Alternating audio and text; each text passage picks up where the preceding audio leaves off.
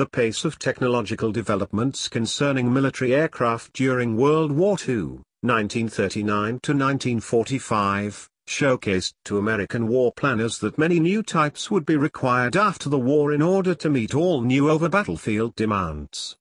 In August of 1945 characteristics were fleshed out for several new category designs and one of these formulated to become a new United States Army Air Forces, USAAF, all-weather heavy fighter, night fighter, the wartime version of the heavy fighter was typically a twin-engine platform armed with machine gun and cannon armament for ground attack actions and air-to-air -air combat.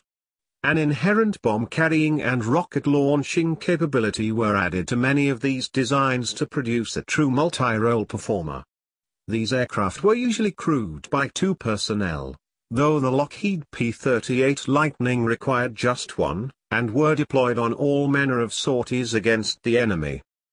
The committee agreed upon several performance factors, a minimum top speed of 550 miles per hour and a combat radius of 1,000 miles.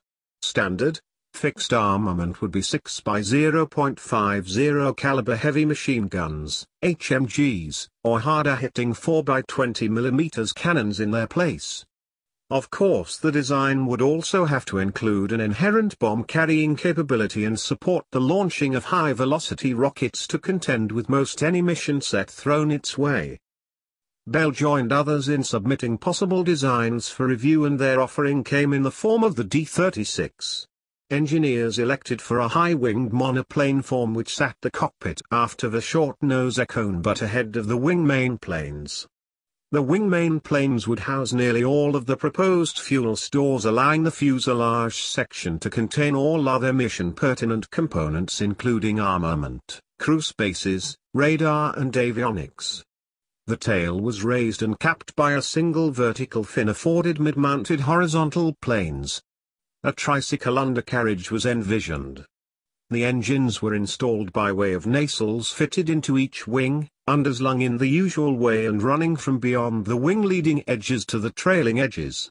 Each engine would power a three-bladed propeller unit though it was expected that a four-bladed assembly would be featured in the future without much change to the power plant scheme. A crew of two, the pilot and a radar operator, were to be seated side by side in the wide cockpit setting. The General Electric TG100, T31, turboprop gas turbine engine was to take up its position in each wing to supply conventional power with provision made to adopt a larger, more powerful engine in the near future. A drive shaft was intended to join the pair at the fuselage allowing one engine to drive the other propeller as needed, a fuel savings feature as well as a security measure should one engine fail. The propellers rotated in a counteraction to eliminate torque manufactured by either installation and each held a reverse pitch function to quickly decelerate the aircraft in flight. There was also additional power to be provided by two ex-Westinghouse 24C6 turbojet engines installed within the fuselage, making the D-36 a mixed power plant aircraft. No fighter would be complete without an armament suite so the D-36 was proposed with 4x20mm cannons fitted to the nose assembly. An additional 20mm cannon was to be installed, aft-facing, at either engine nacelle to offer a rearward firing function and counter the threat posed by any trailing interceptor.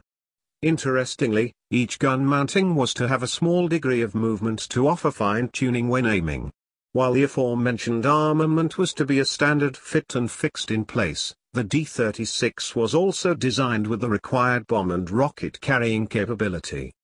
This was to encompass 2 by 1,000 pounds bombs along with 8 by 5 inches, 127 millimeters, high-velocity aircraft rockets, VARs.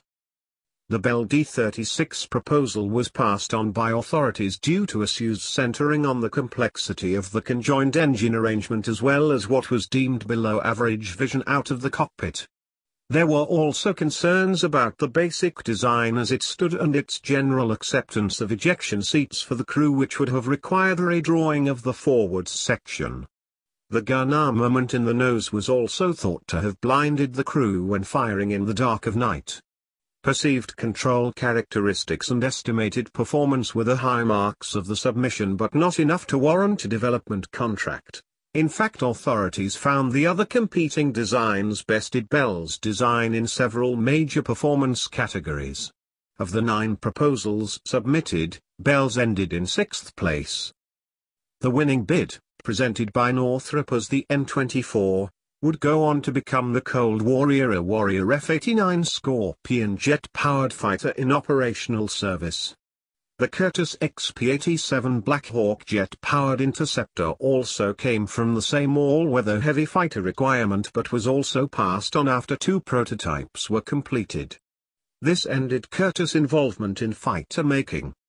Performance estimates of the Bell D-36 included a maximum speed of 550 miles per hour, a service ceiling of 43,250 feet, and a range of 2,600 miles, when flying at 20,000 feet altitude. Rate of climb was to reach near 7,660 feet per minute.